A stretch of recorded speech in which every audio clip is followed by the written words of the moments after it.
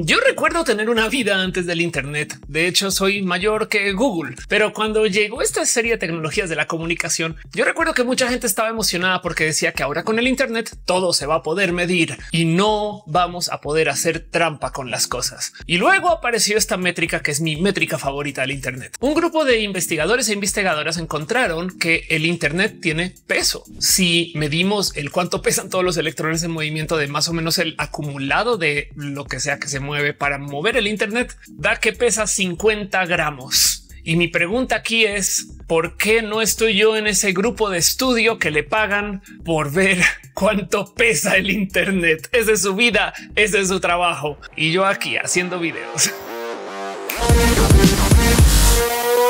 El problema con las métricas es que hay muchos estándares para medir y el problema con los estándares es que hay muchos puntos irónicamente. Y aquí el tema es que cada vez que hablamos acerca de cómo medimos el éxito, vamos a tener más respuestas que las que quisiéramos tener. De hecho, bien que podríamos hablar acerca de tener una métrica de cuáles son las mejores medidas del éxito, lo cual quiere decir que hay una métrica de medidas de éxito de las medidas de éxito. LOL. Pero si ustedes, como yo, viven de la comunicación y estar enfrente de una cámara, por supuesto que habrán escuchado algunas métricas muy famosas. Por ejemplo, en el mundo de las revistas existe una medida de cuánto se comparten las revistas, porque no solo es que se imprima una revista, sino que luego que se venda y luego que quede sobre la mesa por allá, digamos, en un salón de belleza o sala de espera de tu psicóloga favorita. Y esta revista cabe en manos de varias personas, una cifra que se llama el pass along, que depende según la publicación y depende según el año y la ciudad. Y por supuesto que también depende de qué tanto la revista está hecha para compartir. Pero lo que me despierta a mí mucha curiosidad alrededor de esta métrica es un y cómo lo miden. Tienen gente que se sienta a ver cuánto se comparte cada TV Notas o qué. De paso, TV Notas, una publicación que tiene un pasalón de 11. Se supone que por cada vez que se venda una TV Notas, 11 personas diferentes. Lo que es en serio? Y miren, yo comencé este video hablando de que en el Internet ya no se podrá hacer trampa porque todas las métricas eran públicas o medibles. Y pues por supuesto que esto viene de el hecho de que estas métricas como el pasalón están más que truqueadas, están llenas de trampa. Dejando de lado el cómo carajos es que se miden estas cosas, también tenemos que hacernos preguntas acerca del y quién valida eso. Porque, por ejemplo, en el tema del pasalón, nomás les dejo este pensar. En la pandemia y sobre todo en la cuarentena, cuando estábamos en casa, el pasalón de muchas revistas no se movió ni uno o sea, ¿cómo se supone que, estamos saliendo a entregarnos las TV notas durante el encierro? ¿Cómo funcionaba eso? Gente que levanta estas métricas. Ok, ok, ok, ya. Evidentemente también hay algo que decir acá acerca de cómo el que esta métrica exista viene a decir que, pues sí, si tu revista no está vendiendo tanto como quieres, pues bien que puedes decir, bueno, pero es que el pasa longa está haciendo que las cosas cambien. ¿eh? O sea, afortunadamente ahora mucha más gente comparte la revista, entonces no tenemos que vender más. Y pues evidentemente esto existe porque hay un inmenso incentivo para decirle a la gente que invierte con pauta sobre estos medios cosas como no, no es que no estemos vendiendo más, es que ahora más gente comparte la revista. Entonces eh, todavía eso quiere decir que más gente va a ver tu anuncio. 11 más.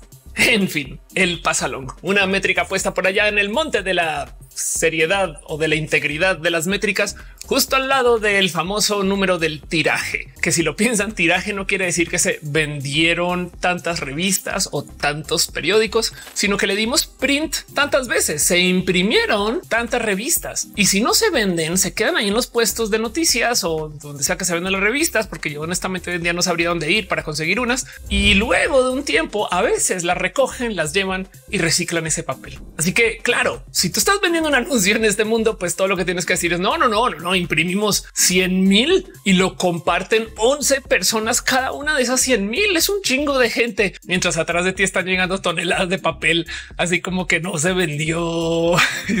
Este mundo de los medios el caso. En este video quiero dedicarle uno o dos segunditos a platicar acerca del problema que tenemos con las métricas del Internet, porque ante toda esta desfachatez de la medida del éxito y sobre todo pues potencial abuso de los números para poder vender más, eh, es hay algo que decir acerca de cómo si en el Internet las cosas se miden más, pero por algún motivo tenemos dudas acerca de estos números todo el santo día. Y la primera es el realmente cuántos followers tiene una persona si cualquier persona puede comprar followers. ¿Qué significa tener followers? Se han dado cuenta como hay gente muy talentosa que no tiene tantos followers y gente que no es para nada talentosa que tiene muchos followers. Y entonces ahora, por supuesto que bien que podríamos decir que la gente que tiene muchos followers no es talentosa, pero eso es falso porque conseguir followers es un talento, pero hay algo ahí que decir acerca del que estamos midiendo realmente. O sea, digo también aquí de paso, aprovechando que me estoy quejando, voy a dejar ahí sobre la mesa el por qué carajos estamos midiendo el éxito de la gente en la música por sus números en Instagram. Hey, sé que hay gente que no ha podido conseguir trabajo en algunos lugares como no sé, festivales musicales y demás,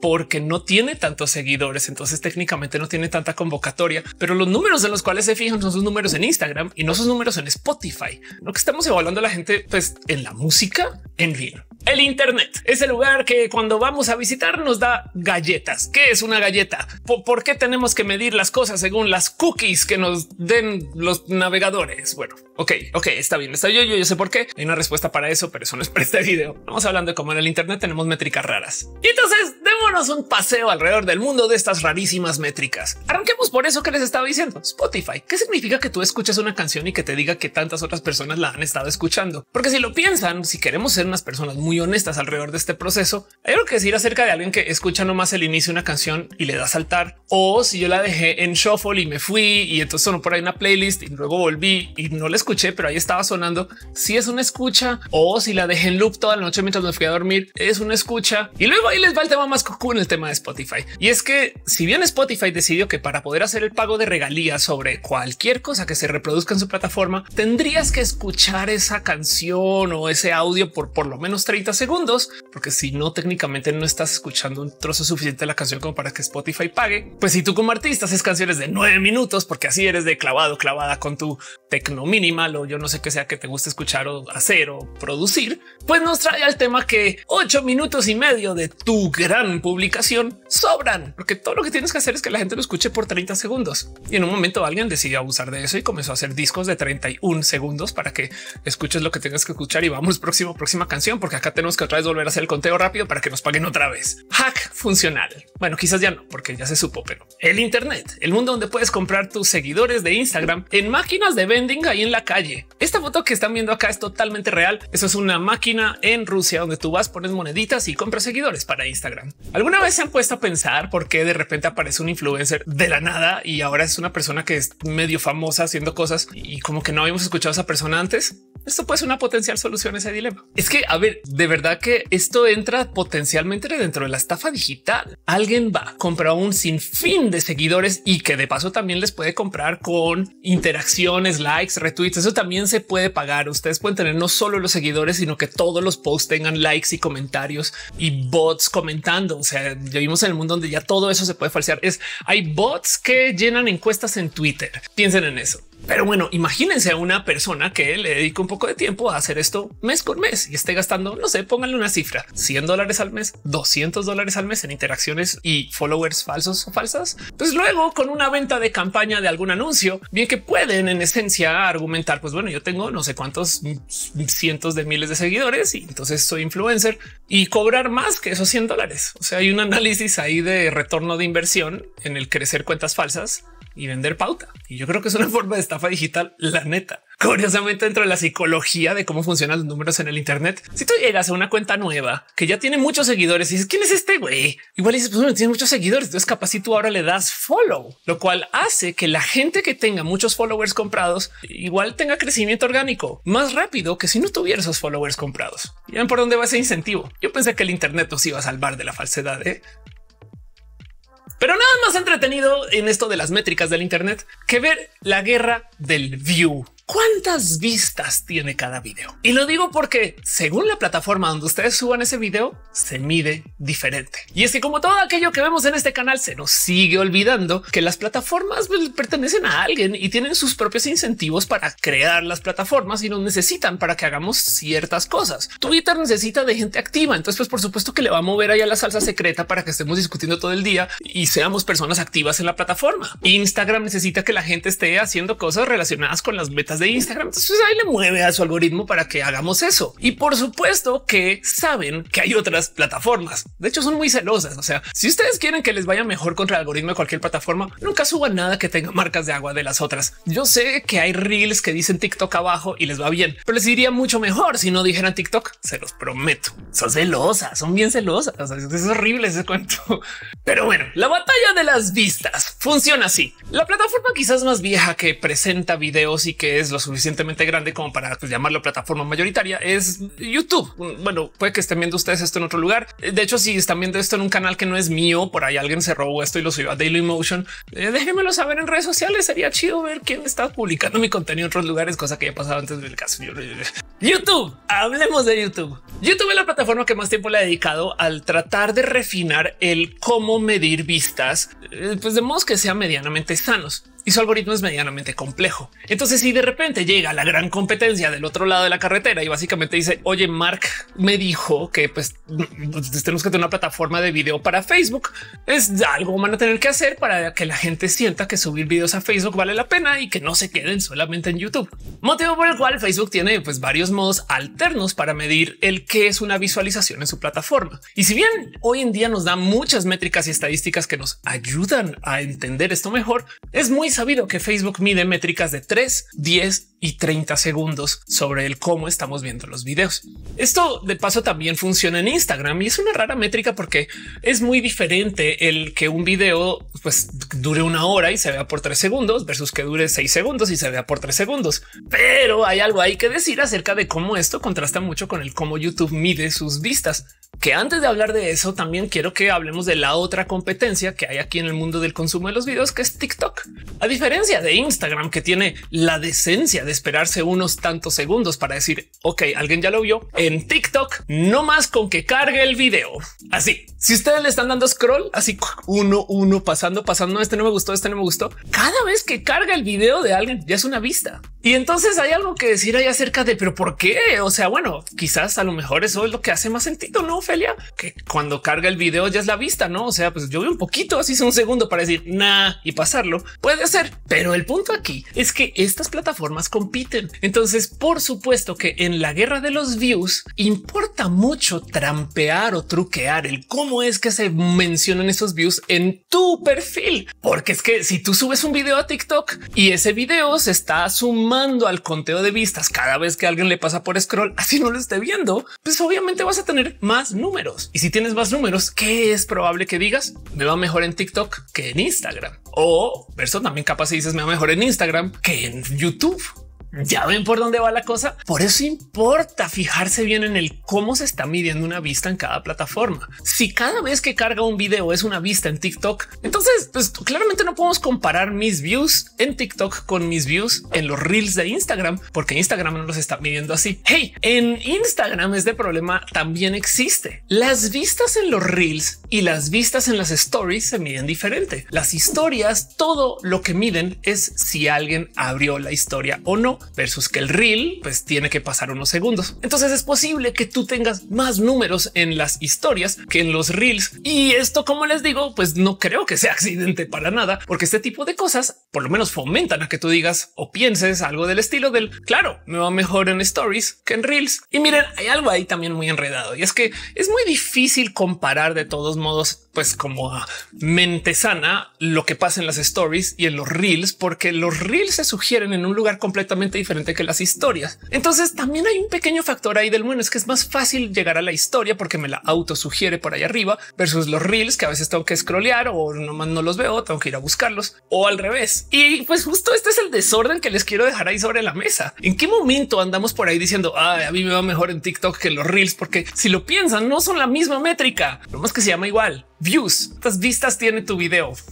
que si tu video dura más, que si tu video dura menos, Twitter hace nada se volvió muy viral también porque cambió la métrica del cuánta gente está viendo cada publicación y comenzaron a aparecer números muy raros como tweets que decían tener, por ejemplo, mil vistas, pero el video dentro del tweet solo tenía como 200, lo cual despierta uno que cómo le hicieron 800 personas para ver el tweet sin ver el video. Y es que lo que Twitter comenzó a hacer fue poner el número de veces que el tweet ha cargado. O sea, si tú abres twitter.com y te salen 100 tweets de los cuales puedes ver como unos 10 y ni siquiera con que le des scroll, bueno, ya cargaron esos otros 90 están por ahí y esas son métricas que te están mostrando a ti para decirte mira toda la gente que ve tus tweets. Curiosamente, cuando esto sucedió, mucha gente salió a decir wow, mucha gente ve mis tweets y no interactúa con ellos para darse cuenta que pues a lo mejor mucha gente le estaba ignorando, pero más bien no sé, hay algo ahí como desingenuo a la hora de decir es que la plataforma llamó el tweet tantas veces, aunque no se estuviera mostrando todas esas veces y esa es una métrica de éxito que, pero ¿por qué lo harían? Pues justo porque Twitter con mucha urgencia necesitaba que comenzáramos a decir wow, sí, mucha gente ve Twitter. Wow, mira todos estos números grandotes y armaron otro desorden porque las métricas de los videos de Twitter no se pueden comparar con las métricas de los videos de Instagram, que no se pueden comparar con las métricas de los videos de TikTok, pero nuestra cabeza sí. Eso es un poquito como cuando los proveedores de servicios de celular cambian la definición del minuto que nos venden o de los paquetes que se arman para que tú no puedas comparar el que estás contratando en servicio A con servicio B, no más que versión redes sociales. Yo les dije que YouTube es la plataforma que más esfuerzo le dedica a tratar de medir el que es una vista. Y el problema de entrada es que mientras más nos digan de cómo se miden, más encontrará alguien cómo hacer trampa. O sea, por ejemplo, en algún momento se volvió público este cuento que TikTok se está fijando cuánto tiempo pasabas en cada video. O sea, si tú lograbas que la gente se quedara mucho tiempo en tu video, pues eso haría que TikTok te recomiende más a ti. ¿Y qué hizo la gente? Decidió llenar el TikTok de texto. ¿Se, acuerdan? ¿Se acuerdan de esos TikToks que llegas una pared de texto de cosas y luego cambia y otra y luego cambia y otra y como que no alcanzas a leer? Justo eso era el juego. Si tú estás así tratando de leer qué carajos es lo que dice cada larga línea de texto en esa pared de texto que no se escupen, pues te quedas más tiempo ahí viendo el video y TikTok va a decir wow, es, la gente se queda un chingo de tiempo viendo los videos de esta persona. He de recomendar su cuenta. Cuando eso se volvió muy grande, muy viral, lo quitaron. Una otra métrica que por supuesto miden bastante es el cuánto conectas con lo que hay alrededor del video. YouTube muy famosamente se fija en el cuánto interactúan ustedes con las cosas alrededor de este video, que si le dan like o dislike, que si comentan, que si le dan scroll, que eh, cualquier otra cosa que quieran hacer ustedes acá. De hecho, cada que vean estos videos míos, les invito por favor a que le piquen a cualquier cosa, excepto de suscribir. A eso no le piquen y tampoco le piquen a la X para cerrar todo lo demás adelante para que después que YouTube diga wow, Ofelia es súper mucha interacción, genera esa morra. Pero bueno, el caso por eso mismo es que no podemos saber exactamente cómo se miden las vistas pues, con tanta precisión, porque habrá quien quiera hacer trampa sobre eso. Por consecuencia, lo que sabemos de YouTube se hace por medio de lo que nos hemos enterado en conferencias, lo que se trata de analizar, lo que dicen y también un sinfín de investigaciones que hacen muchas personas que tratan de descifrar el sistema pues a las buenas o a las malas para tratar de justo encontrar el cómo hacer que los videos que están generando sean más exitosos. Pero de lo que se sabe, la cosa va más o menos así. Y ojo que esto puede cambiar según el mes, el año y el algoritmo. Y en fin, esto es algo hasta por lo menos estos meses. Yo lo volví a verificar hace muy poquito antes de grabar. Ahí les va la locura que hace YouTube. Cuando se sube un video a YouTube, YouTube más o menos sabe que hay un momento donde la gente lo deja de ver. Este momento de paso varía según si el video es de una hora o 30 segundos o 10 horas. Ahora no quiere decir que todo el mundo deja ver el video en el mismo lugar o en el mismo momento. De hecho, hay algo ahí de cómo cada video tiene como un modo de comportarse diferente, porque pues si tú estás mostrando cosas muy wow al comienzo y al final todas wangas, pues no. O luego si tú muestras las cosas súper cool al final, bien que se pueden disparar la subida del caso. Hay un momento a lo largo de la gran mayoría de los videos, no todos, donde es como que la audiencia cae significativamente. Momento de caída. Y de nuevo, volviendo a ese punto, si tu video es de dos minutos, pues el momento de caída va a ser pues, capaz es el final. O bueno, también va a ser chiste al comienzo. No, este está de hueva próximo. Yo no sé caso. El punto es que hay un momento donde la gran mayoría de gente medianamente deja de ver los videos. Si ustedes ven sus propias métricas estadísticas, lo van a encontrar por video. Pues YouTube cuenta una vista de video el tiempo necesario para llegar hasta ahí. Digamos que en mis fantabulosos videos de 20 minutos, ese momento es como en el minuto 8 o 9. Eso quiere decir que la gente deja de ver mis videos hasta el final. Pues algunas personas sí, pero el punto es que después del minuto 9 ya no hay tanta gente viendo. Así que YouTube lo que dice es bueno, pues si lo ven hasta ahí, eso es una vista, pero nomás consideren las siguientes aristas. ¿Qué tal que vean nueve minutos del video, pero vieron un minuto del final, dos minutos del medio y luego volvieron a ver un minuto del final? Entonces nunca llegaron a ese momento los nueve minutos. Pues bueno, en ese caso, al parecer sucede. YouTube suma los minutos de lo que la gente está viendo y hace un bueno video más o menos tanto y entonces lo considera parte de la vista original. Que así parece que funciona. El caso es que YouTube se fija en eso. Que si alguien dejó el video en autoplay, eh, ya no cuenta. Que si alguien está viendo su video 100 veces, ya no cuenta. Que si alguien decidió dejar una compu dándole refresh, ya no cuenta. Pero como sea, el punto es que YouTube trata de analizar más o menos cuánto está viendo el video la gente según cuánto se ha consumido en el canal de modos dinámicos. Y esto viene desde hace mucho tiempo. ¿Se acuerdan cuando se subían videos a YouTube y pues como en las primeras horas más o menos, cuando ya tenía unas vistas acumuladas, de repente decía que tenía 301 más? Eso viene de una viejísima práctica que tenía YouTube de dejar que se acumulen las vistas para luego sobre eso hacer este análisis hiper complejo de que dónde es que lo dejan de ver, cuánto tiempo lo están viendo, más o menos de dónde vienen, quién está tratando de hacer trampa, quién no. Y cuando acabe este inmenso proceso de auditoría, ahí sí, ahí sí te doy el conteo oficial de YouTube. No más que ahora YouTube tiene tantos videos en su plataforma que se puede dar el lujo de mostrar unas views más o menos estimar según tu histórico y el histórico de videos similares y tratar tratar de decir más o menos dónde va a ser el punto donde la gente deja de ver el video y luego, si acaso, ajustar sobre la marcha. Hay varios videos que crecen, luego decrecen, luego se ajusta, luego limpian, luego vuelve a crecer, luego purgan, luego organizan y el conteo final lo sabrás después si quieres que sea con mucha realidad. Y digo mucha realidad porque también cómo le vamos a hacer nosotros auditoría a eso. Bien que YouTube puede decir tu video tuvo 15 mil millones de views, millonísimos, un chingo. Wow, Ofelia, qué chido. Y, yo, ah, pues gracias. ¿Y quiénes fueron? No, la gente del Internet, Ofelia, que vinieron mucho. Wow. Y pues sí, gracias por ver mis videos de paso. Gracias por sumar la métrica y gracias por compartir. Compartir de paso también en las métricas que toman en cuenta para ver si vale la pena recomendar el video. Entonces, esto que les estoy diciendo YouTube puede no ser real o fidedigno a fin de cuentas hoy, o puede no estar muy atinado porque hay mucha gente que pone en dudas si eso es exactamente lo que están haciendo. Como sea, YouTube hoy en día hace esto de modos dinámicos porque tiene tantos videos y tantos datos que pueden medianamente estimar hasta dónde lo ven. Pero el punto es que también, por supuesto, que hacen esto porque a YouTube le interesa saber dónde dejan de ver el video, porque después de ese momento ya no vale la pena poner anuncios y YouTube detrás de todo es una plataforma que vende anuncios en sus videos, lo cual me deja aquí la otra cosa que quiero que tomen a consideración por si ustedes están viendo este video con luz del pues es que yo quiero que pues, mis videos se vean mucho y que el algoritmo me recomiende. Les voy a dejar la mamá de las recomendaciones de cómo hacer que sus videos tengan muchas views. Hagan contenido que permita que se muestren muchos anuncios y no porque se muestren muchos anuncios, es que la gente no se vaya. Si me expliqué con eso, hay gente que anda por ahí diciendo no hay que hacer videos de cinco minutos porque es que la atención promedio no es que la gente se cansa porque no es que hay que cargar el contenido hacia el comienzo para hacer el punch y la cosa eh, más o menos. Pero la realidad del cuento es la gran mayoría de las views en cada video YouTube depende del algoritmo y de cómo nos recomienda el algoritmo. Punto. A menos que sean personas tan especiales que puedan vivir no del algoritmo. Es un caso muy raro eso. Ni siquiera los youtubers grandes y pasa el chiste, los youtubers para las youtubers chiquis tampoco. Pero como sea, el punto es si su video hace que la gente se quede un chingo de tiempo viendo anuncios, se los prometo que YouTube y parece chiste de todas las plataformas van a decir güey, hay que mostrar esto a todo el globo terráqueo porque muestra anuncios. Este video nos trae varo y eso es lo que hace que se recomiende el video. Así dure seis horas. Si ustedes en un video de seis horas tienen un chingo de cortes de anuncios y la gente no se va a pesar de esos cortes, se los súper prometo que el algoritmo los va a mostrar como nadie. Pero bueno, volviendo al punto de las métricas del Internet y cómo pues todo el mundo truquea sus números y estas cosas, queda la duda del por qué YouTube tiene un sistema métricas tan complejo a comparación de, por ejemplo, TikTok. ¿Por qué no le hacen como TikTok? Que nomás, pues sí, si alguien abrió el video ahí una vez y se le dio refresh, porque cuenta una vez más y ya no dices justo porque YouTube vende anuncios a lo bestia y si hay alguna forma de auditoría sobre eso. Entonces, pues por un lado, si cambia el algoritmo ahora, rompen todas las métricas del pasado, porque hay videos de hace más de 10 años, 2006 a ya casi 20 años. ¿Cuántos años tengo yo? Ok, hay videos de casi 20 años en YouTube que pues si les llegaran a cambiar la métrica ya no se puede medir si vieran tan exitosos o no. Entonces no podríamos comparar los videos de ahora con los de antes. Entonces no podríamos hacer ningún tipo de análisis de sobre pues, lo que está pasando en YouTube versus lo que pasaba en YouTube. Y esto es tema. De paso, si se han dado cuenta, esto justo es lo que no les gusta a las plataformas. Cuando la gente hace cosas para molestar con sus métricas, que no son cosas que vienen de, pues, del uso orgánico. O sea, si está el carajo tener videos que tengan muchos dislikes porque no nos gustó el YouTube Rewind del cuál fue el rewind malo 2018, 2019, cuál, cuál fue el rewind. Ya ni me acuerdo.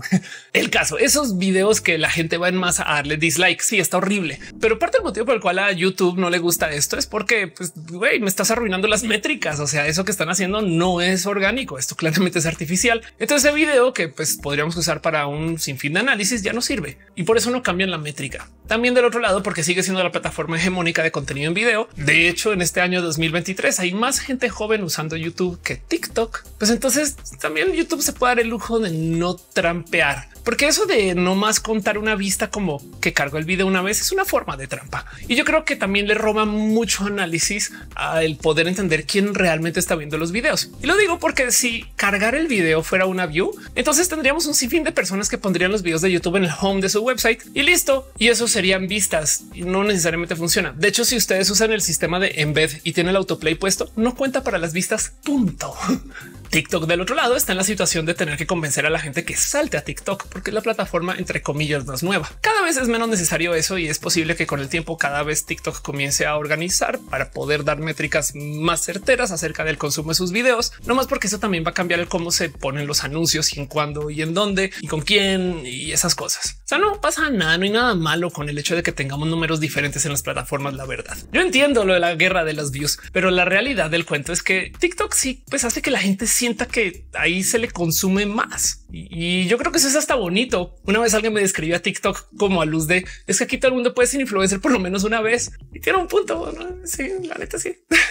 el caso, el punto aquí es que cuando hay números y cuando hay alguien midiendo algo, habrá otra persona tratando de hacerle trampa a esa medida, porque muchas cosas dependen de esos números, ingresos, decisiones laborales, medidas de éxito. Y en esto, entonces entiendo bien el por qué no nos comparten mucho el algoritmo, cómo funciona. No más que si les dejo este video como a un amable recordatorio de que no se pueden comparar las vistas de ningún video entre plataforma A y plataforma B. Es más, aunque se midieran del mismo modo, no se recomiendan del mismo modo. Es más fácil encontrar un video en YouTube acerca de ciertos temas que encontrarlo en Facebook o parece chiste en TikTok. Nunca les ha pasado que una persona influencer a quien les cae bien sus contenidos van a su cuenta de TikTok y no encuentran ese un video viral que decía no mames, güey, está buenísimo. Yo lo recuerdo. Eso es parte de o si quieren y les dejo este consejo de contenidos. Sabían que hay mucha gente que literal vuelve a subir sus TikToks como si nunca se hubieran publicado, así como hay gente que vuelve a poner los mismos tweets del ayer hoy. Yo hago eso a cada rato porque el algoritmo los mostró una vez y bien que los puedo volver a mostrar. Y si esto les causa ruido, recuerde que la tele lo viene haciendo desde siempre. ¿Cuántas veces llegamos a la casa para ver un viejo episodio de Dragon Ball que ya nos habían mostrado antes otra vez? ¿Por qué? Pues porque hay que publicar algo. Lo mismo, reruns, pero en TikTok. El caso, incentivos, el motivo por el cual los números importan o el por qué hay que regularlos o el por qué deberían de existir mejores modos de hacer auditoría. En una época existió una hermosa plataforma que intentó hacer lo que se llama Cloud y esto ya tiene sus añitos, pero Cloud era una plataforma que quería medianamente ver cómo le iba a la gente a lo largo de otras plataformas. Entonces eh, tenía un tanto de éxito y también tenía sus problemas, pero como sea, era un modo de medirnos más allá de solamente los seguidores. Los números en redes determinan la vida de la gente. Y no les miento que yo aprendí a ver esto del comprar interacciones y comprar followers más como algo relacionado con la belleza y la vanidad. Y hasta diría que sería lo mismo de que los procesos de la gente que pues, trata de buscar entrar en espacios de la belleza hegemónica. O sea, si lo piensan como que filosóficamente hablando, y estoy usando la palabra filosóficamente acá muy, muy, muy a la ligera, pero filosóficamente hablando es lo mismo operarse la nariz para conseguir un trabajo en los medios que operarse los números para conseguir un trabajo en los medios. Y curiosamente en ambos casos existe una cultura del no digas nada. Sí, me operé la nariz, pero es un gran secreto. Sí, me operé los followers, pero es un gran secreto. Y en ambos casos, digo, no necesariamente es el caso global, pero sí es probable que una persona que entra dentro de una belleza hegemónica de la apariencia pues, consiga ciertos trabajos en particular en el mundo de los medios que contrate este tipo de personas, como que una persona que tiene apariencia digital, o sea, followers y números que entran dentro de una forma de belleza hegemónica de los números también esa persona consiga otra forma de procesos para entrar a trabajos o chambas o campañas y dinero. Y mis amigos influencers saben muy bien de lo que estoy hablando. Pero este que habla influencers, hacen a un amigo que es actor, me decía que para que le dieran un papel actoral tenía que tener ciertos seguidores en redes. ¿Por? En ese mundo vivimos. Entonces hay un chingo de métricas para medir y hay un chingo de números para seguir. Y en últimas, el hecho de que tengamos tantos números también sirve hasta para confundir y por eso estamos en este problema. No sé, quería platicarlo un poco, preguntarles a ustedes un cómo se sienten. Si quieren, déjenmelo saber según el número de likes de este video. Para todo lo demás, ¿cuáles son las métricas importantes de su vida? ¿En qué se fijan? Yo sé de gente que documenta cuántos cafés toma por semana o hay gente que se fija en cuánto dinero gasta, no sé, en el súper y son métricas importantes. Pero si algo he aprendido es que nadie tiene las mismas métricas que nadie más. Y eso me parece interesante. Fin de cuentas, yo estudié econometría. Entonces esto para mí es algo que me viene muy al corazón, como ustedes, que también les tengo en mi corazón. Nos vemos en el próximo video. Gracias por acompañar y espero haberles traído algo interesante hoy. Para cualquier cosa, déjenmelo saber aquí abajo en los comentarios o un like o ya saben, clica todo menos el botón de suscribir y esas cosas. Les quiero un chico.